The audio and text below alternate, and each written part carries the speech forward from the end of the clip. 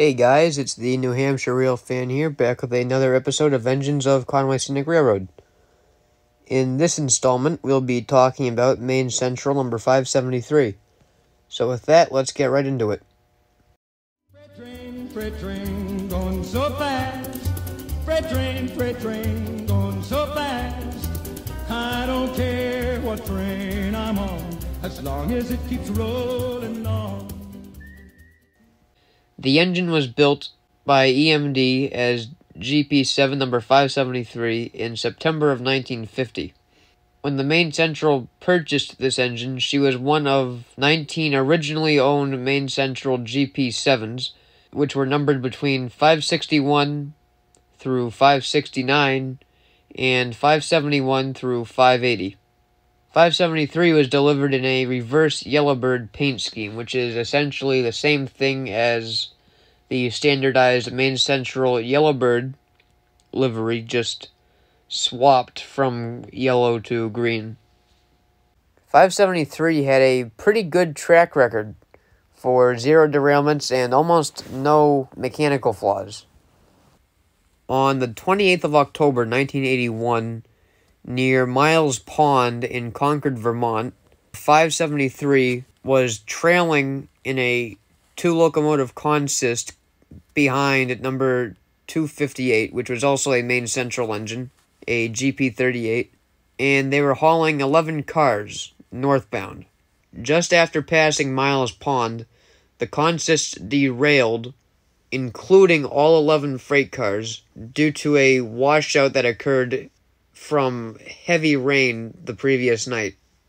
573 was resurrected from the derailment and sustained substantial damage to her steam generator and her hood.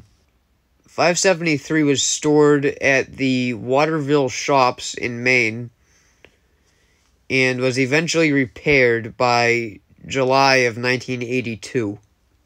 She was repainted into the Red Wing livery after having her steam generator replaced in early July 1982. She was tested on the 22nd of July and after further inspections put back into service shortly afterward.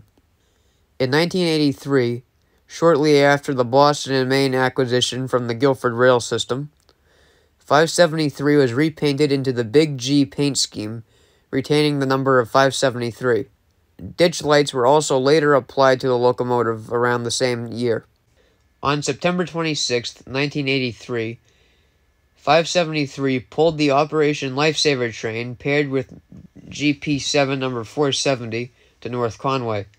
I was unable to find much information on this event, but I found many photos of crews reheading the locomotives to the opposite side of the train whilst at the Conway Railroad Station. In April of 1984, 573 had the Maine Central markings on the side of her hood changed to Delaware and Hudson. This was later reverted back to say Maine Central only a few weeks later. She would be re identified again in 1988 to Springfield Terminal and renumbered to 27.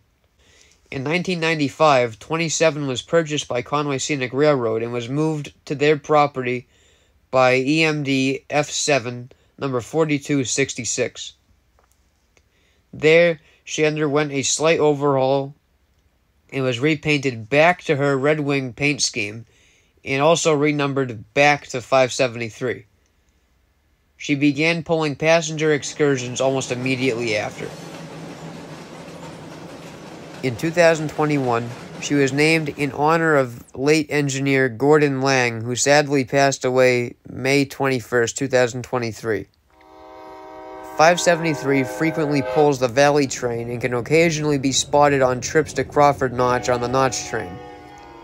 She is also often used with work extras and heritage excursions.